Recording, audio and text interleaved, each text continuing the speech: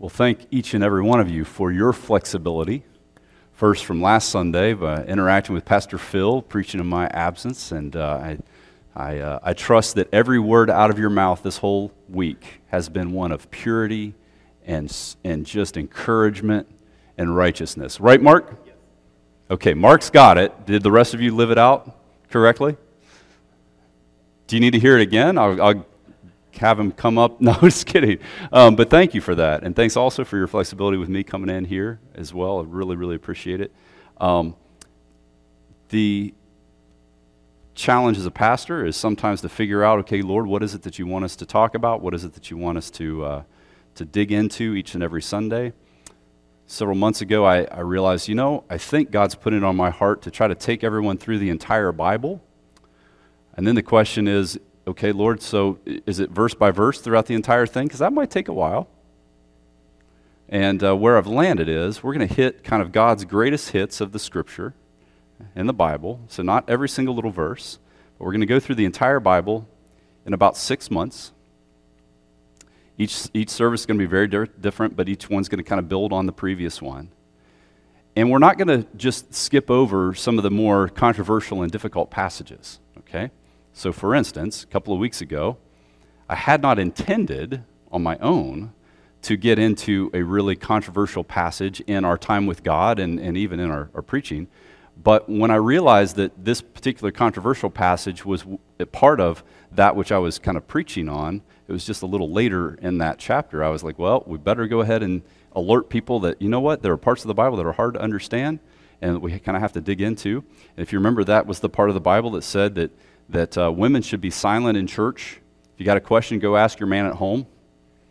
Uh, and the first service, that didn't go over well, you know. um, and uh, in this service, it wouldn't have gone over well either. And I didn't even get to that part of the Bible, um, but it was in, in, the, in the bulletin. Now, um, and I sent out a little email to those of you that, that have email addresses on our, our church uh, uh, little server there and said, hey, by the way, I support my mom, who is an ordained pastor. So you know that I have a very different kind of understanding of, of how that passage should be interpreted. Now, we will get to that whole idea in the midst of going through the Bible here in a year.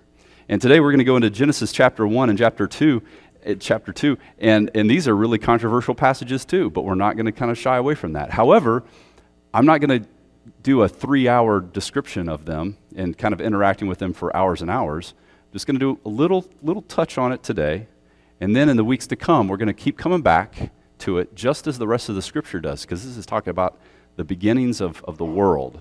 And uh, different parts of the Bible come back to that again and again and again. The picture behind me is not a picture of one of my Bibles. However, I do have Bibles that look roughly like that because I've just really interacted with it and I, you know, taken it and I've uh, uh, written, you know, different things and circled things and just kind of back and forth and back and forth. And I like that picture because series that I am just entitling it Interacting with the Bible because some people think that you ought to just read it once and then you're done. You're like, well, I've read the Bible, I know the story. And other people think, well, no, uh, you should take like just a few key verses, kind of memorize them, and then, then you're good because you've got kind of some key verses.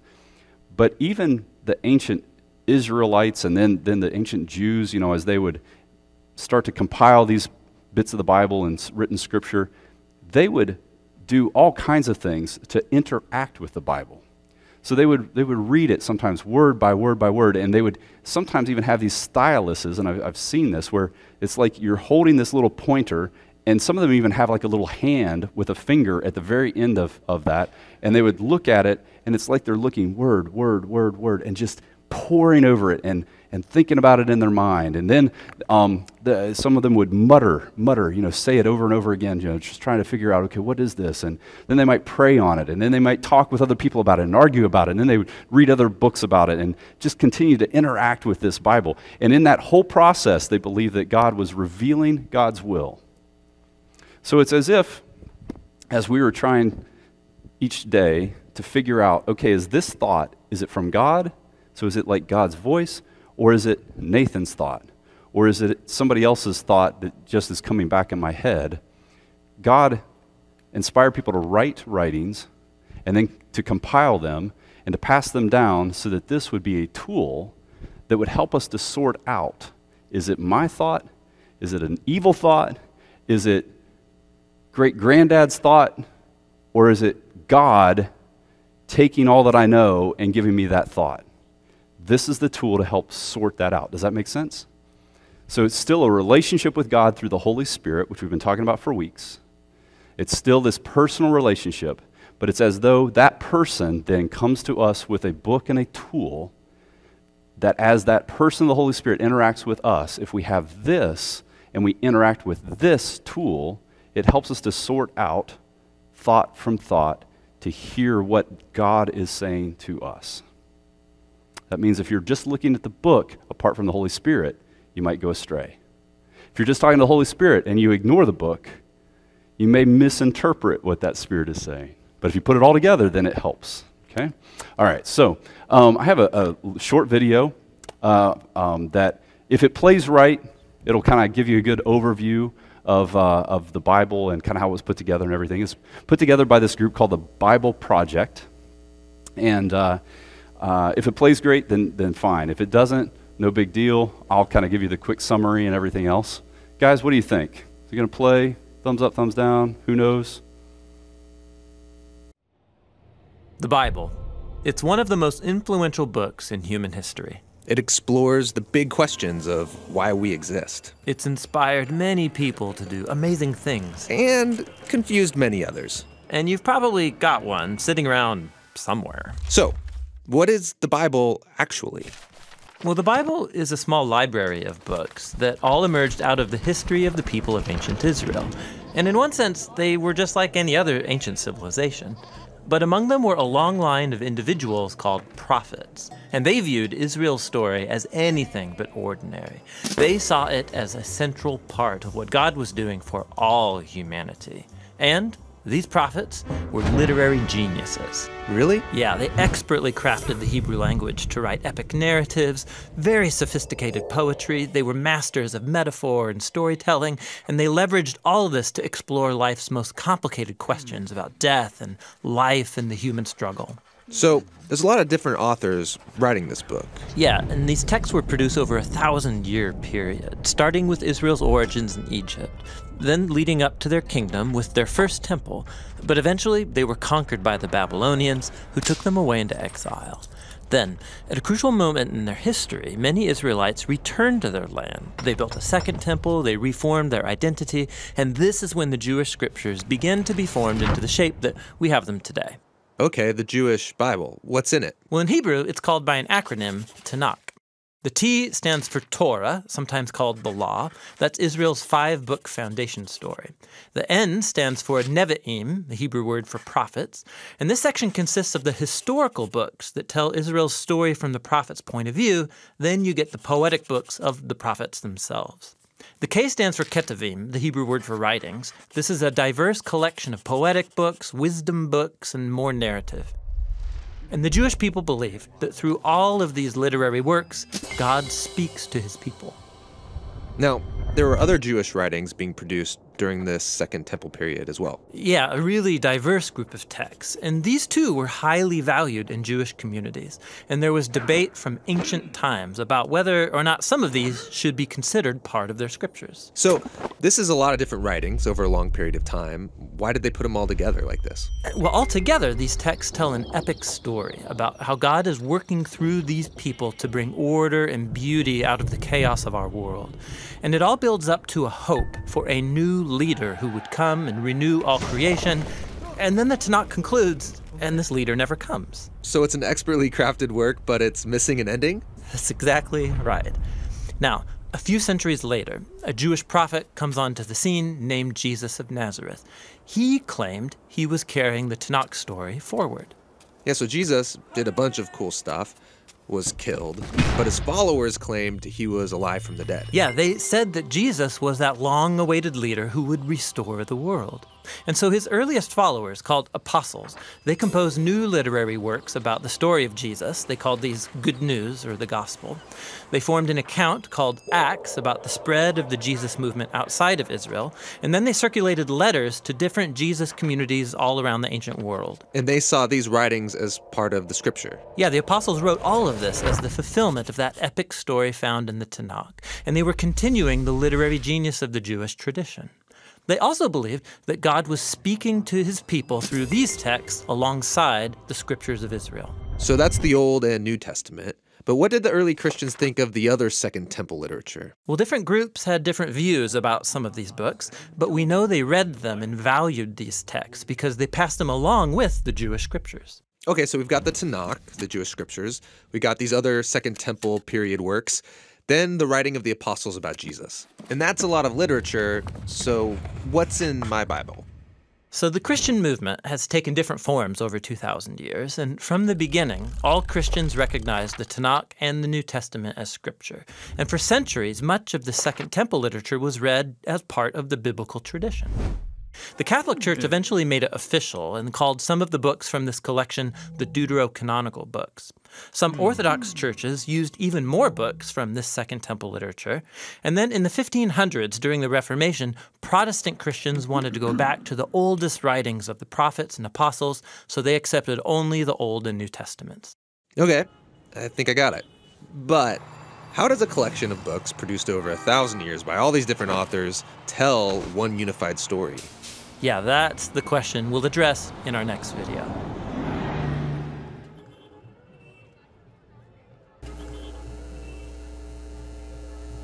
Hey, I'm John. Um, now we're going to do a quiz, and uh, no, I'm kidding. No, but you get the idea. Like this is a complicated book, but here's something that I, I find absolutely exciting, and um, in this day and age, I, I want to make sure that people know uh, because when I talk with different folks, a lot of folks are, are really kind of um, worried about the rise of Islam. Have you ever you noticed that? And um, the main book for Islam is called the Quran, exactly. The Quran was written by, um, in their understanding, written by Muhammad under the inspiration of a particular angel that's, that's just telling him what to write down. One person writing all this down in Arabic, and they say, This is perfect. Like, it's absolutely perfect as it is, and it has always been perfect, and it has never changed. And what's interesting is, as folks study the history of it all and they, they give it um, some scrutiny and they look at it, uh, if, if you notice, like different uh, Muslims that really dig into it like that, they start realizing, oh, wait a second. Actually, there, there were some, some questions about what was really written and some changes, and, and different groups were arguing over which, which kind of interpretation is right, and then they kind of argue amongst themselves and stuff. So you start realizing, well, that book isn't that absolute perfect thing that it's claimed to be. And, but that's, that kind of freaks folks out if you're Muslim. Like, that's a real problem because you, you're basing it all on this idea one person, one revelation, one written um, work in one language, absolutely perfect, and it always is perfect and everything else. Um, but it, it doesn't hold up to scrutiny like that. So they've got to like always push that kind of academic scrutiny away and say, no, no, no, we don't want to get into that. We don't want to get into that. On the Christian side, when academics look at the Bible and they say, wait a second, it was written by a lot of different folks and stuff was kind of changed throughout time and then they were kind of edited together and then, then the interpretations have been different and, and uh, we christians say yeah like we've always known that. Like that's always been the case. Like we've we've always looked at the bible whether you were a jewish rabbi or a christian scholar we've always said we've got to really work at the interpretation of it and trying to figure out you know which which ancient text is exactly more authentic and stuff and putting it together. There are always footnotes in our bible saying this word and other other manuscripts or maybe this word it doesn't freak us out. We say, no, we've always said that that was the case. And you may say, no, that's not what I was taught. I was taught the Bible was like one revelation, boom, you don't put a coffee cup on it or anything because it's like this perfect thing. Well, in the eight, late 1800s, um, Christians started trying to make it that because they realized, oh, wait, science is, is arising, and, and so everything in the Bible must line up exactly as science and the Enlightenment would say. And they tried to make it into an Enlightenment book, but it wasn't. It was written way before that, and the truth therein has stood the test of time even up until today. So that now, when we start looking at the scripture and trying to figure it out, and you, you may say, Wow, I'm not sure how to interpret this, or I'm not sure exactly what's right here, because some Christians say this and some Christians say that. For some people, that's led them to say, Well, then I don't want to believe any of it. Because if I can't have that enlightenment, scientific absolutism, then it must be false. But if you step back for a second and you say, wait a second, there is truth in this scripture that has lasted the test of time through wars and through all kinds of different problems and and even up until today, some of our best scientific minds still look at that and they say, "Wait, no, no, no, no. We can't we can't throw this out. Like there is truth here that God has revealed that is powerful and that is just amazing. That's really, really beautiful. So, as we go through in the coming weeks, you'll probably kind of pick up a little more on what I'm talking about. All right. So, just as an example, let's go to Genesis chapter 1. And this is the origin story. It's at the very beginning of the Bible. Can you find Genesis if you're looking in your Bible? It's pretty easy. You just start flipping through all the, the preview stuff from whatever publisher published your Bible, and then boom, there's Genesis. It's the very, very beginning. Genesis even means origins, beginnings. And the beginning of the Bible even says, in the beginning, when God created, or in the beginning, God created the heavens and the earth. So I'm just going to read through some of this and we're going to interact with it. The earth was a formless void, and darkness covered the face of the deep, while a wind from God swept over the face of the waters. Then God said, Let's say that together, let there be light. And there was light, and God saw that the light was good. And God separated the light from the darkness. He called the light day and the darkness he called night. And there was evening and there was morning the first day. And God said, Let there be a dome in the midst of the waters, and let it separate the waters from the waters. So God made the dome and separated the waters that were under the dome from the waters that were above the dome. And it was so. And God called the dome sky. And there was evening and there was morning the second day. And God said, Let the waters under the sky be gathered together into one place, and let the dry land appear. And it was so. God called the dry land earth, and the waters that were gathered together he called seas. And God saw that it was what? Let's pause there for a second. It's good. Now, how many gods are active here? One God. So, in this ancient, ancient time, all right, and so we're talking about stuff that was probably passed down orally from parent to child to parent to child, parent to child, you know, throughout generations, and, and then is being written down with this understanding this goes way, way, way, way back. I mean, these are, these are foundational stories that, that people understood that God was somehow putting on people's hearts and minds that were so powerful and true that they're passed down generation to generation. But in the midst of the, the land, you know, we'll just call it Israel for now, that land of Israel where these people were living, there are other competing stories of how stuff began, and they are weird. You've got multiple gods kind of fighting it out. You've got gods having sex with other gods and that creating stuff like that. You've got, uh, uh, you know, um, a head splitting open. You know, later, later some, some uh, uh, another myth where it's like head splits open and stuff pops out of it. I mean, weird, weird, weird, weird, weird. And in the midst of that, God inspires this writing to say, no, there's one God, and it wasn't tough for me. I just creatively created. You know, speak, it happens, speak, it happens. And there's this progression thing after thing after thing. Where's the sun? Hasn't even been mentioned yet.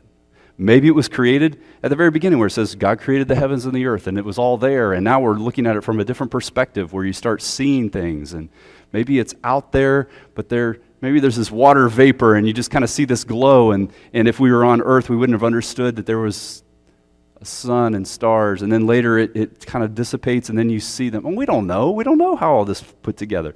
But, but here we go. One God doing it. It's not difficult. And why does God create it all? If I were to ask an artist, why did you paint that painting? And it wasn't that somebody asked them to do it, they just did it. Then the artist has trouble saying why they did it. You artists out there, you get that, right? It's the creative process. Why did you write that poem? I don't know. I sat down, I started having some words that came, and I just started writing it. Why did you draw that? I don't know. I just had this, I just wanted to create. And God just wants to creating. Verse 11 Then God said, Let earth put forth vegetation, plants yielding seed, fruit trees of every kind on earth that bear fruit with seed in it. And it was so. The earth brought forth vegetation, plants. Wait, the earth brought forth vegetation. Interesting, right? We find this idea repeated again and again. God's doing something, but it's participatory sometimes with the earth or with the animals or with the humans. Plants yielding seed of every kind, trees of every kind, bearing fruit with seed in it. And God saw that it was good. And there was evening, and there was morning, the third day. And God said, Let there be lights in the dome of the sky to separate the day from the night. And let them be for signs and seasons and for days and years. And let them be li- and let there be lights in the dome of the sky to give light upon the earth. And it was so. God made the two great lights the greater light to rule the day, the lesser light to rule the night, and the stars. Isn't this cool? Like, if you think about the vastness of creation and how many stars there are, and the Bible's like, and God made the stars. Pretty easy for God to do. You see, I mean, that's just like this amazing kind of juxtaposition between how magnificent stuff is and it's easy for God. God set them in the dome of the sky to give light upon the earth, to rule upon or rule over the day and over the night, and to separate the light from the darkness. And God saw that it was good. And there was evening and there was morning, the fourth day. And God said, Let the waters bring forth swarms of living creatures, and let birds fly above the earth across the dome of the sky.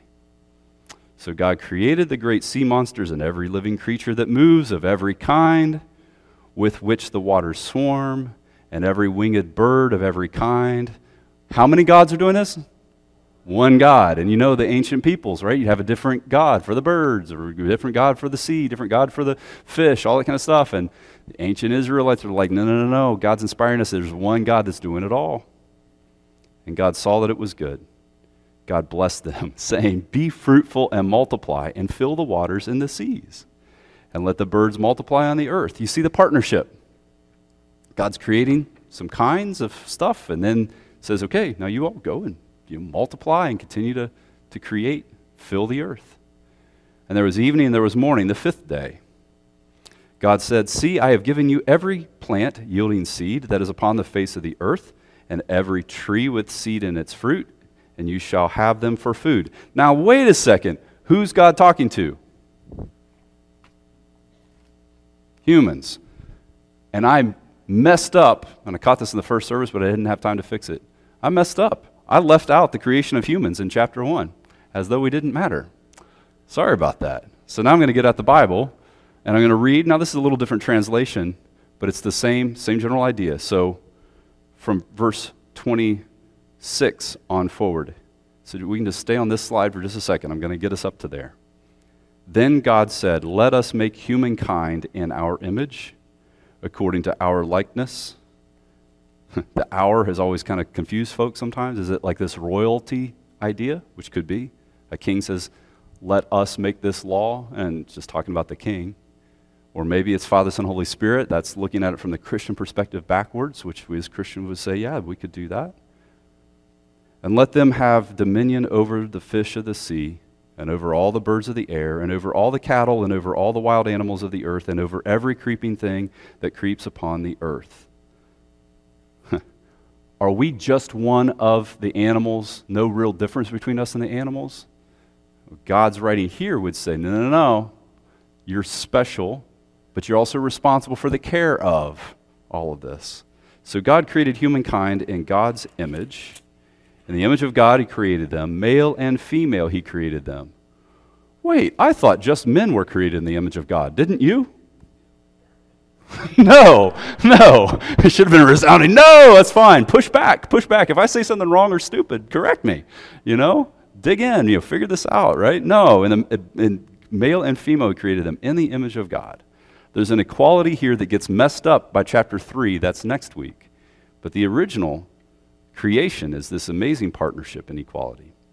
God blessed them and said to them, Be fruitful and multiply, and fill the earth and subdue it, and have dominion over the fish of the sea, and over the birds of the air, and over every living thing that moves upon the earth. Then God said, verse 29, See, I have given you every plant yielding seed that is upon the face of all the earth, and every tree with seed in its fruit. You shall have them for food to every beast of the earth, to every bird of the air, to everything that creeps along the earth, everything that has the breath of life, I have given every green plant for food. I'm going to pause here for a second, and it was so. How many gods do we have to pray to or sacrifice to to be able to have that which we need? you see the difference. God's like, look, I'm going to provide. I'm going to create, and then I'm even going to provide for that which is created. Verse 31. God saw everything that he had made, and indeed it was very good. You see the difference? Once we've got humans into the picture, now God's like, okay, now it's very good. And there was evening, there was morning, the sixth day. Now we go to Genesis 2. It just continues the same account here. Thus the heavens and the earth were finished, and all their multitude. And on the seventh day, God finished the work he had done, and he rested on the seventh day from all the work he had done. So God blessed the seventh day and hallowed it, because on it God rested from all the work that he had done in creation. It's a part of the New Testament that indicates that that seventh day just continued, continued, continued on, and still is today. So that's why we see, you know, just the, the majority of this creative power kind of just kind of took a break, you know, and now we're living into that which God has kind of created altogether. Now, verse 4 of chapter 2.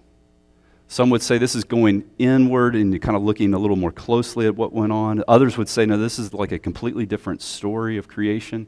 In any case, those folks who said, we're trying to figure out what's inspired from God said all of this is inspired from God. So they put it all together. And generation after generation, the folks agreed. Not, yeah, this should be together. This is all inspired by God in some way, shape, or form to help us. So here we go, verse 4 of chapter 2. These are the generations of the, oh, I'm sorry, um, kind of concludes that and then, then goes into this, this kind of um, next narrative. These are the generations of the heavens and the earth when they were created in the day that the Lord God made the earth and the heavens. Now, in this case, it's just like one general day, all right? And you're going to see with all that goes on in this day, it's probably not like 24 hours. And we're tra- probably just general. Here we go. In the day that the Lord God made the earth and the heavens, when no plant of the field was yet in the earth, and no herb of the field had yet sprung up, for the Lord God had not caused it to rain upon the earth and there was no one to till the ground. But a stream would rise from the earth and water the whole face of the ground. And then the Lord God formed man from the dust of the ground and breathed into his nostrils the breath of life, and the man became a living being. And I'll pause there for a second. Is this being truly a human until, or it, without the breath of God? And I'd say, no. You know, it's that breath of God that then makes this being this human being. And now we've got something that's very, very powerful and different and special. The Lord God planted a garden in Eden in the east, and there he put the man whom he had formed. Out of the ground the Lord made God made to grow every tree that is pleasant to the sight and good for food, the tree of life also in the midst of the garden, and the tree of the knowledge of good and evil. That'll come up next week in chapter 3. A river flows out of Eden to water the garden, and from there it divides and becomes four branches. The name of the first is Pishon. It is the one that flows around the whole land of Havilah where there is gold. And the gold of that land is good.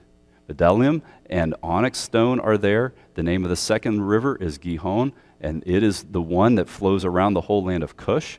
The name of the third river is Tigris which flows east of Assyria, and the fourth river is the Euphrates. now, for us, we're like, well, I don't know where any of those places are, but you get the sense that when this story is passed down from person to person to person, originally they were like, oh, yeah, okay, I know kind of generally what you're talking about, I guess, right?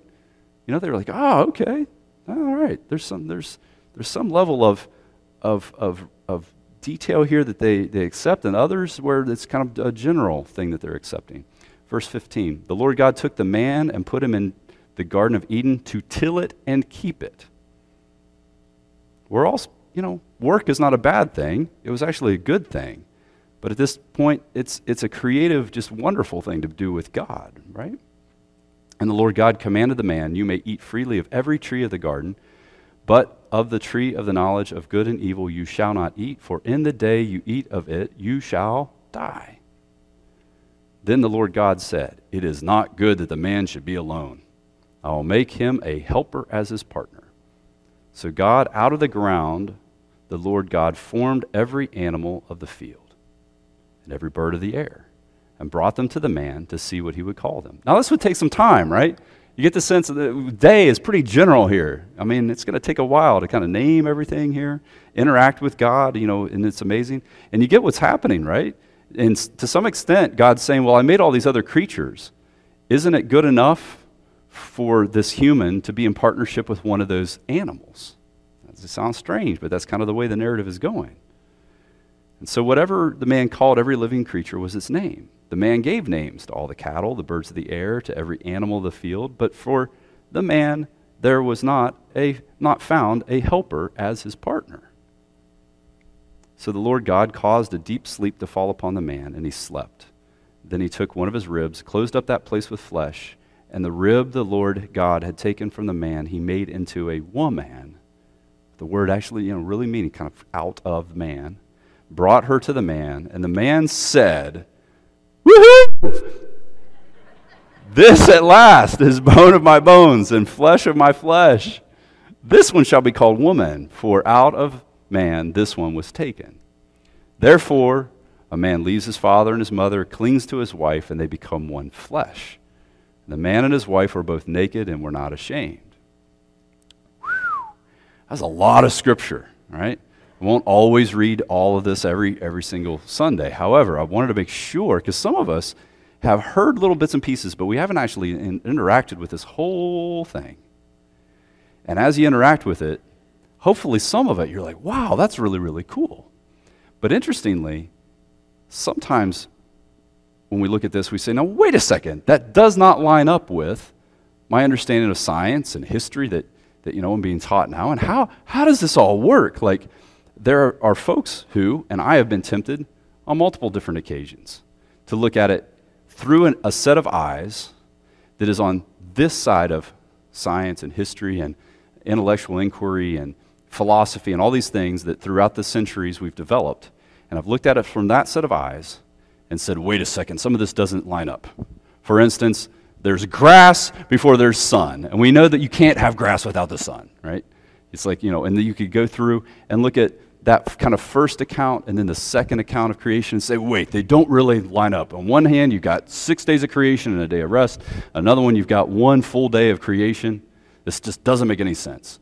On this beginning story, you know, humans are created after everything's kind of created. And on this second story, there's kind of like this blah land, and then humans are created, and then other stuff is created. Did you pick up on all that kind of stuff? Have you seen that before, maybe? You've kind of argued about that, and you're like, wait, so should I just throw it all out? None of it's true, right? So, for instance, the slide that has 24 hours, you know, is, it, is each one a 24 hour day? You know, what, what is it? How do we put this together? And it gets even more confusing as we interact with it and we say, things like, well, what does the word day mean? At the very beginning, it says he called the light day and the darkness he called night. Well, you've got then 12 hours as a day, right? Because it's kind of roughly, you know, 12 hours from sun up to sundown, you know, and so there you go. Well, it's only like 12 hours. But then later, when you've got the earth, then you've got morning and, and evening, and you've got 24 hours then as a day. And then you've got the seventh day, God rests but then it just keeps on going for thousands of years, which is a good idea to negotiate with your employer that your day of rest should be a true Sabbath, which means once it starts, it just keeps on going for year after year after year, right? That's brilliant. And then in Genesis 2, that day has almost got to be like just kind of this general kind of expanse of time because you've got all these things being done in there. You're like, wait a second. So is it not true? But yet these folks for centuries have put it together and said, no, no, no, God is speaking through this. So in your bulletin, there are websites that if you want to dig into all the different ways of possibly interpreting this and making sense of it, all of those websites are put together by Christians. And, and each one has a little different flavor on how this should be interpreted. Some would say they're, they're all 24 hour days, and a lot of our science right now is wrong. There, there are different ways to look at the science to make it fit. And there are 24 hour literal days. The earth is very, very young. There are others who would say, no, those days are very long. And they point out what I just pointed out with the different words there, you know, where day is, is kind of referring to different lengths of time. And they say, no, no, no, it all fits pretty literally, but you just got to understand that day is a long period of time. And we don't know how much time elapsed between the days. We don't know. So there's that view. Then there's another view. This one will make some of our heads pop off. so let me give you an example of the, of the last one. The last one says the ancient peoples who were originally talking about this and sharing these stories, if we were to ask the questions of them that we ask today of the text, they would say, You've missed the point. You don't interact with the Bible like that. What do I mean? I mean, if we would have said, Are they 24 hour days? And was this exactly the, the, the, the way in which um, this was done and then this was done? Like, literally, is that exactly what happened? They might have said to us, You're being ridiculous. You need to look for the essentials and stick with the essentials because that's what the story was supposed to convey. What would the essentials be? Well, let me give you an example. How many gods are there? One God. Scientifically astute people can read this and understand that, and the ancient pre science people would come to the exact same conclusion. Was it difficult for God? No. Did God want the world to exist? Yes. So those essentials God exists, God wants the world to exist humans have a special place in God's heart. They're kind of a crowning jewel of God's creation. Those things the pre science people understand and the after science people both understand, and it's repeated. Those themes are repeated in book after book after book of the Bible. When you get to the New Testament, they, they, they don't even talk about the number of days or exactly how that went down. They don't even talk about it. But they do talk about there's one God. They do talk about how special humans are to God. They do talk about the fact that God loves us. Again, repeating, repeating, repeating. So I just wanted to make sure that you kind of hear that. That the, the three or four basic ways of understanding the Bible you can hold as a Christian. And, let me, and I promise you one example for that last one, because a lot of us have never even heard of that. And it sounds very strange, because the only thing we've ever heard is it's got to be absolutely literally true. And it may be. You'll be very, you'll have some fun looking at some of those, those, um, those websites. However, the other view that it's, it's ancient literature that should be treated as ancient literature might look like this. What if I told Jennifer, let's say that Jennifer and I are going to go to dinner, and you remember there was a really heavy rain in this area not too many days ago, right? So let's say that on that particular day, I said, Jennifer, I call her up, and I'm here at the office, and I call her up, and I say, Jennifer, I'm going to leave in a minute. But right now I can't because it's raining cats and dogs outside. I mean, it is a monsoon outside, and I forgot my umbrella. So I'll, I'll leave in a minute, and uh, then we'll go to dinner when I'm home. Okay? And then, 13 and a half minutes later, I actually leave. And I get home, and she says, You liar. You liar. You said you would leave in a minute. You did not leave in a minute. You left in 13 and a half minutes. Liar! And then I looked outside, and Jennifer's like, I looked outside, and there are not piles of dead dogs and cats outside. You liar! And then she says, and I called the National Weather Service, and it was not a monsoon outside. You liar! From the details, I did lie. I was wrong. I did not give the facts. But would she have said all of those things?